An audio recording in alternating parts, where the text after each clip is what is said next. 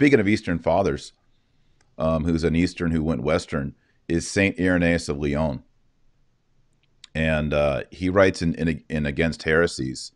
In the same way, Mary, betrothed to a man, but nevertheless still a virgin, being obedient, was made the cause of salvation for herself and the whole human race. Thus, the knot of Eve's disobedience was loosed by the obedience of Mary. What the Virgin Eve had bound in unbelief, the Virgin Mary loosed through faith. Saint Irenaeus. Guys, we're talking second century here. Second century. That she was the cause of salvation for the whole human race.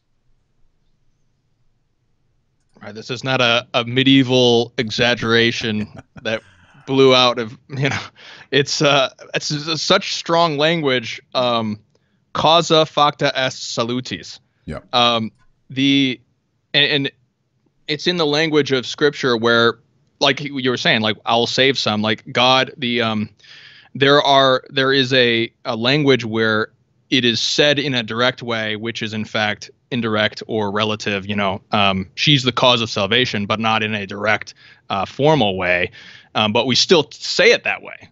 And and that's most holy theotokos save us. There's there is that sort of direct language that gives her glory uh, without all the distinctions we're, we're not going to get into a bunch of theological distinctions when we're praying a litany right we're just going to pray it's understood uh, if you you know well catechized catholic um, yeah yeah and you mentioned the Jerome one. Can you can you quote that one again, Timothy? Because that's a yeah. So she's uh, yeah. So he says, "By a woman, the whole world was saved.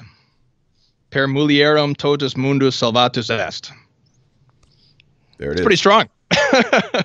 here's right. a, here's another one that that uh, is from Pius the Twelfth. So now we're bringing it into oh, the yeah, that's good. to the 1900s. But he says when he declared the dogma of the Assumption the uh, calls her the supply the sublime associate of our Redeemer. Right? The Alma Redemptoris Nostra Socia.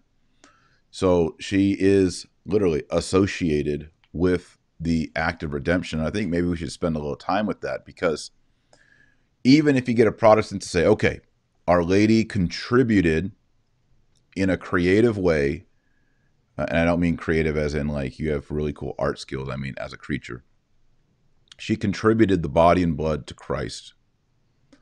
But at the cross, it was all Jesus. He did everything. Our Lady has no interaction there. What say you, Timothy Flanders? I mean, this I'll I can't I'll say play the Protestant. You get I- to be. oh, the- okay. I just I- I just teed one up for you, okay. and then you get to hit it out of the park. Well, I can't say it better than Pius XII. In Myst- Mystici Corporis, he says, She offered him on Golgotha to the Eternal Father together with the holocaust of her maternal rights and her motherly love, like a new Eve for all children of Adam. End quote. I mean, break that down for us. I mean, it's kind of says So- it all, but I mean, it's Yeah. so um, Our Lady's fiat is her whole life. Her whole life is is the um, like Saint Simeon says, a sword shall pierce your own soul too. yes. Can I read That- that? Can I read that one because it Yeah. relates? Yeah. Oh, so yeah. this is Luke two, uh, verse thirty-four. When Simeon blessed them and said to his mother Mary, "Behold, this child is destined to bring about the fall of many and the rise of many in Israel, to be a sign which men will refuse to acknowledge, and so the thoughts of many hearts shall be made manifest. And for thy own soul, it shall have a sword to pierce it." So when Christ on the cross, when the lance pierces his sacred heart, spiritually a sword pierces the heart of Our Lady. And and did Our Lady um did Our Lady fail to offer that in union with Christ? No. She offered like there there's a great um I can't remember who made this point to me, but if you ever see a crucifixion where Our Lady is fainting and weeping and no, that's not what Our Lady was doing. She was offering herself and her son. She was offering everything up at the cross. Okay, well, I want to spend some time here because I actually maybe differ on this. There is this debate in Catholic art. It's the swoon. The swoon. Some people say that any art that shows Our Lady swooning is heretical. And they tend to think that Our Lady should be standing there like a stoic warrior. But there is there is certain art, I think it might be Flemish, where you know when you see our Lord on the cross, he's up and the, but he's kind of he's kind of curved like that, his body. It's kind of a Byzantine look. You mm-hmm. know what I'm talking about? Yeah. His body's sort of like well, often in those kind of paintings, you'll see down below Our Lady is often being held or comforted by St. John, and her body is shaped the same way, right? So Christ is sort of art and she's art, and that's to show the unity between them, right? That they're both there's a passion which is perfect and divine, and then there's a compassion, a co-suffering that Our Lady. I think that's beautiful and good. I don't think it's heretical. And no, I, don't, I, I don't would, think Our Lady no, just stood there like, not gonna cry.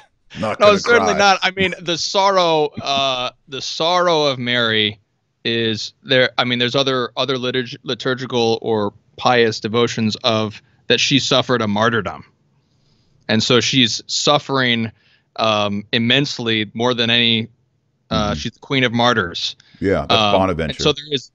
Okay, so there's um, so there's a great suffering and I mean there's great sorrow and uh, swooning, tears, you know, weeping. Um, but she does that in such a way as to strengthen everyone at the cross and us as well. Yeah. Uh, when we go to the cross, we like what I mean by that is is when when you see a suffering woman, your instinct is to comfort that woman, and in such a way that Our Lady um, builds us up in a sense, even as she's suffering. Just as our Lord builds us up in His suffering, Our Lady also um, draws us to Christ, draws us draws us to greater power. Um, even though at the same time we still pity her, we still pity Christ. We still have this mm-hmm. pity because we're also compassionating. We're you know there's so many devotions of compassionate the Lord. Think of our mm-hmm. Lord suffering, compassionate Him. Um, and so there's there's i get i mean there's just so many different real so many different layers of meaning. Um, i'm not asserting that it's heretical. I'm saying that uh, if we consider it as our lady was overcome i guess. Uh, you know like she was she it's was hard to describe it. I mean it's true. I i think it's safe to, for all of us to say that our lady wasn't like you know sometimes you see in these movies where you see like you know, the Italian grandma who's like flailing and hysterical and, beating yeah. her breast. And, not hysterical. Yeah, yeah, hysterical. Our Lady was right. certainly not acting hysterical and causing a scene. Right. Um, but I do think that you know Saint Bonaventure said that it's we can say that Our Lady is a martyr because, and this is a, this is a great analogy. I just love this. So picture a deer that's being hunted, and the arrow hits the deer, but it's not a fatal shot. However, over the next year, because of that wound, it slowly kills the deer. And Bonaventure says that how, how that's how it was with Our Lady. A sword pierced her heart at the cross, and that was the fatal blow that killed her. Mm. But it wasn't an immediate death right? It was like an arrow lodged in there that over time just slowly brought about that. So you could say that the arrow and the hunter killed the deer. So you can say Our Lady was, in a sense, martyred, but not like the martyrs that we know, like Saint Lawrence or Saint Stephen or something like that. And I think that's kind of helpful in, in, in a good a good way of understanding that. And of course, you know, this is a little bit controversial with some people, but not with the Greeks and not with the early Latins and not with Aquinas that our Lord, uh, that our Lady did experience a separation of body and soul before the Assumption. She did have a natural death. What do you what do you say on that, Timothy?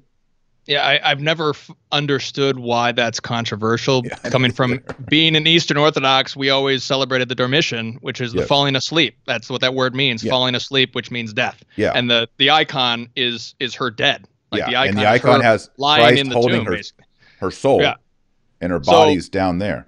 yeah I, I don't really i guess I, I it seems to be an outgrowth of the immaculate conception. So how could she die if she didn't have original sin which i guess i mean that's reasonable. Um but i it does seem um yeah look it up in ott. He's he assigns a uh a sententia communio or whatever to that. I mean it's it's in the dying. liturgy.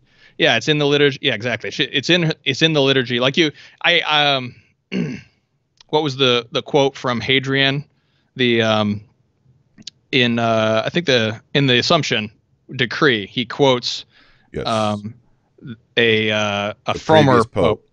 Yeah. So regarding her death and It her is- tomb. so it is funny that's that it is pretty clear in there. I'm not sure where that controversy comes from or who's promoting that controversy, but yeah, I've never Yeah. found that comprehensible coming from the Eastern Orthodox where it Right. seems clear. Yeah. So Because you were, people don't know this, you were an Eastern Orthodox before Catholic. I was. Yeah. Yes. We need to talk about that sometime. We do. Yeah. A lot of people are uh, maybe watching. are wanting to think- jump. think the grass is greener, but I'm here to Mhm. tell you, it ain't greener.